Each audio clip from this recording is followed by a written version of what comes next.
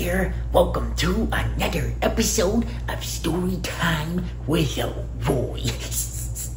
Today I'm excited to tell you a story about a time I went to get the mail.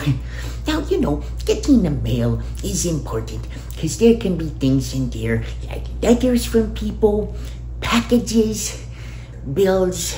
The bills aren't quite as fun as the packages and the letters, but they do come in the mail and you need to make sure that you're checking. So, anyways, well, this story is about when I would go to get the mail at my parents' house. Now, you see, at my parents' house, they have a mailbox that rather than putting a bunch of mailboxes in front of everybody's house, the builders decided to put the mailboxes all in one spot. So I would go on a little walk every day to check the mail. And it was always pretty. And you know, there would be little squirrels running in the trees and squirrels. And suddenly I'd look up and a squirrel would look down at me and I'd be like, oh no. And the squirrel would start throwing acorns at me and I'd be like, ah. And then I'd dodge all of the acorns and I would make it to the mailbox. but then I would get a package.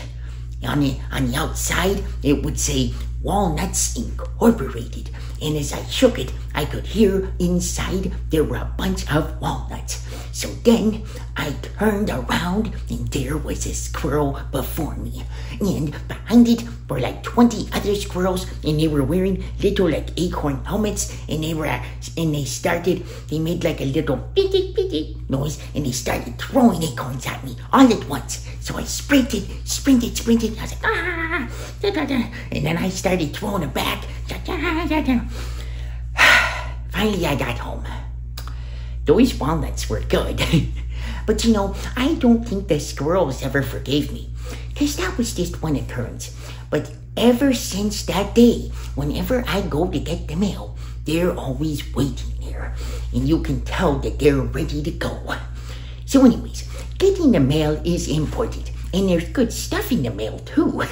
but be on the lookout for vengeful squirrels.